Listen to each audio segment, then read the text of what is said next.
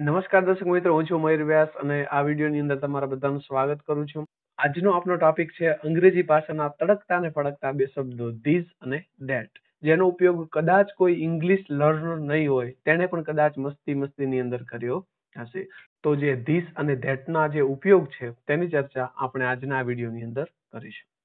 એની પહેલા મિત્રો જોઈ લઈએ એક મિનિટ, એક વચન અને બહુવચન. મિત્રો, કોઈ વસ્તુ એક હોય, તેને આપણે એક વચન કહીએ છીએ. જેને અંગ્રેજીની અંદર સિંગ્યુલર તરીકે ઓળખવામાં આવે છે. અને કદાચ કોઈ વસ્તુ એક કરતાં વધારે છે, ચાહે બે હોય, ત્રણ હોય, પાંચ હોય કે પચીસ હોય, તો તેને આપણે બહુવચન કહીએ છીએ. જેને અંગ્રેજીની અંદર આપણે પ્લુરલ તરીકે ઓળખીએ છીએ. તો મિત્રો, હવે જોઈએ કે ધીસ અને ધેટના ઉપયોગ. ધીસ એટલે શું? ટી એચ આઈ એસ ગુજરાતીની અંદર જોવા જઈએ તો ધીસ એટલે આ. અને that T H A T that એટલે શું? તો કે તે. ધીસનો ઉપયોગ આપણી નજીક પડેલી વસ્તુને દર્શાવવા માટે થાય છે. ધીસનો ઉપયોગ આપણી નજીક જે વસ્તુ રહેલી છે તેને દર્શાવવા માટે થાય છે. અને તેવી જ રીતે ધેટનો ઉપયોગ આપણાથી અમુક અંતરે એટલે કે દૂર પડેલી વસ્તુનું સંબોધન કરવા માટે થાય છે. એક જ શબ્દની અંદર તેની વ્યાખ્યા જોઈતી હોય તો ધીસ એટલે આ ધીસ એટલે આ અને ધેટ એટલે તે ધીસ એટલે આ અને ધેટ એટલે હવે મિત્રો, આ બે શબ્દોના પણ બહુવચન તો હશે જ, કારણ કે એક વચન અને બહુવચન તો હોય જ.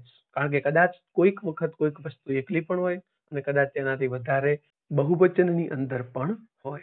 તો કે ધીસનું બહુવચન થાય, એટલે કોઈ વસ્તુ નજીક પડી હોય, એનું સંબોધન કરવું હોય, પરંતુ તે વસ્તુ બહુવચનની અંદર હોય, એક કરતા વધારે હોય, તો તે ધીસનું શું થશે? These. T H E S E. This અને ધીઝ. ધીસ તે એકવચન છે અને ધીઝ તે બહુવચન છે. કદાચ આપણી નજીકની અંદર કોઈ એક ચોપડી પડી છે, તો ધીસ ઇઝ અ બુક. અને કદાચ આપણી નજીક કોઈ બહુવચનની અંદર, એટલે કે એકથી વધારે ચોપડીઓ પડી છે, તો these are books. These are books. તો ધીઝ એ સિંગ્યુલર છે અને ધીઝ તે પ્લુરલ છે. એવી જ રીતે ધેટનું પણ સિંગ્યુલર અને પ્લુરલ વિશે આપણે વાત કરી લઈએ. કોઈ વસ્તુ આપણાથી દૂર પડી છે અને એક વચનની અંદર છે. ધારો કે ચોપડી આપણાથી દૂર છે, પરંતુ એક જ છે. સિંગ્યુલરની અંદર ધેટ અને બહુવચનની અંદર ધોઝ મારાથી દૂર ચોપડી પડી છે અને એક વચન છે. તો ધેટ ઇઝ અ બુક મારાથી દૂર છે અને એક કરતા વધારે ચોપડીઓ છે. તો ધોઝ આર બુક્સ એકદમ સરળ ટોપિક છે મિત્રો. ખાલી અમુક વસ્તુને જ તમારા માઇન્ડની અંદર ક્લિયર કરવાની છે. ધીસ એટલે નજીકની વસ્તુ માટે ધેટ એટલે દૂરની વસ્તુ માટે.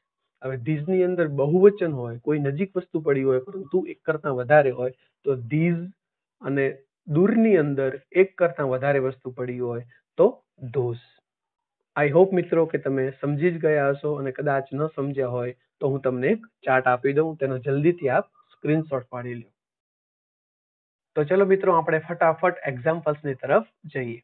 મારી કોઈ નજીક એક છોકરો ઊભો છે. નજીક મારી કોઈ એક છોકરો ઊભો છે. તો હું શું કહીશ? ધીસ ઇઝ અ બોય અને કદાચ મારી નજીક એકથી વધારે છોકરા ઊભા છે. તો હું શું કહીશ? These are boys these are boys એવી જ રીતે આપણે જ્યારે ધેટની વાત કરીએ, ત્યારે મારાથી દૂર કોઈ એક છોકરો ઊભો છે. તો હું શું કહીશ? That is a boy that is a boy અને કદાચ મારાથી દૂર એક કરતા વધારે છોકરા ઊભા છે.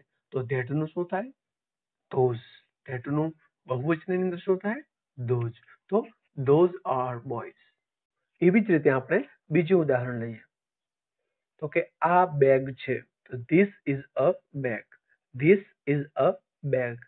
અને કહીએ કે તે બેગ છે. તો that is a bag that is a bag. કદાચ નજીક પડેલી જે બેગ છે એક કરતાં વધારે છે. તો ધીઝ આર બેગ્સ અને કદાચ દૂર છે અને બહુવચનની અંદર છે, દૂર છે અને એક કરતાં વધારે બેગ્સ છે, તો ધોઝ આર બેગ્સ તો ધોઝ આર બેગ્સ તો મિત્રો, આવા કેટલાય ઉદાહરણો છે અને હું તમને કહીશ કે એક કાગળ અને પેન લઈ લ્યો અને આજુબાજુ તમારી જે જે વસ્તુઓ છે તેને નોટ કરી દો અને અને પછી ધીસ અને ધેટના જે મેં તમને ઉપયોગો કીધા અને ધીઝ અને ધોઝના પણ જે મેં તમને નિયમો કીધા, તેના ઉપયોગો કીધા, તેને તેના પર એપ્લાય કરો. જેમ જેમ પ્રેક્ટિસ થતી જશે, તેમ તેમ વસ્તુઓ ક્લિયર થતી જશે. બરોબર છે બરોબર છે